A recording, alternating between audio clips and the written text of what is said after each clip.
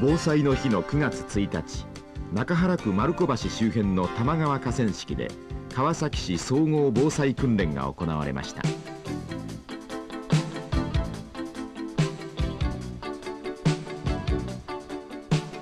訓練は午前10時に川崎市域直下を震源とするマグニチュード7と推定される大地震の発生を想定。市内の中央会場となったここ河川敷には地域住民行政防災関係者などおよそ5400人が参加しました。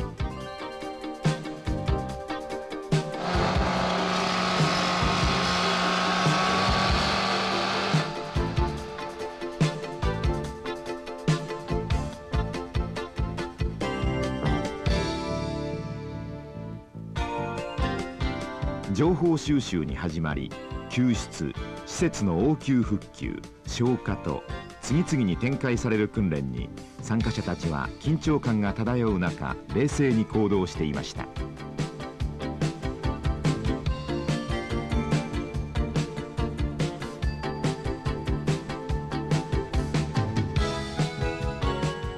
消火器やバケツリレーでの初期消火訓練ではいざという時力を発揮しようとお母さんたちが大活躍。